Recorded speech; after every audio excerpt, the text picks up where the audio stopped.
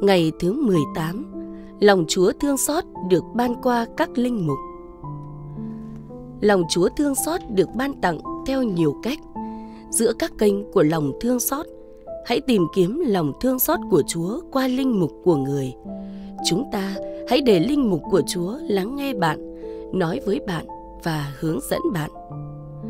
Các linh mục cũng là những con người yếu đuối và là tội nhân nhưng trong sự yếu đuối của các ngài các ngài được ban cho một ân sủng đặc biệt để hướng dẫn các linh hồn.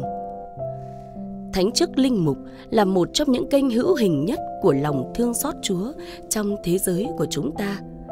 Hãy cầu nguyện cho các linh mục và để chúa nói với bạn qua các ngài. Hãy nhớ đến những linh mục mà chúa đã đặt để trong cuộc đời bạn. Bạn hãy cầu nguyện cho các ngài, hỗ trợ và khuyến khích các ngài nhưng cũng hãy cởi mở với những cách thức mà thiên chúa tuôn đổ lòng thương xót của người trên bạn qua các ngài. Thiên chúa đến với bạn ngang qua các linh mục của người bằng muôn nẻo. Nếu bạn có đôi mắt biết nhìn và đôi tai biết lắng nghe.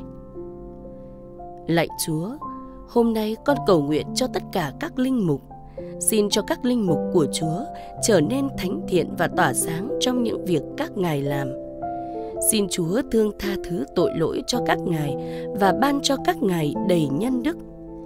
Xin giúp các linh mục nói lời Chúa và phục vụ lòng thương xót của Chúa với lòng trung tín và nhiệt thành. Lạy Chúa, tạ ơn Chúa vì hồng ân thánh chức linh mục.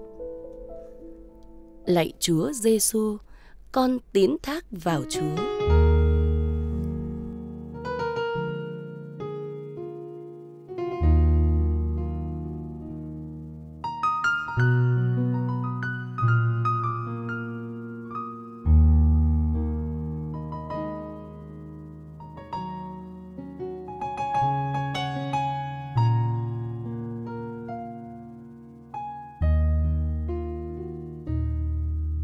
Lòng thương xót chúa, đỡ nâng con khi đời yếu hèn.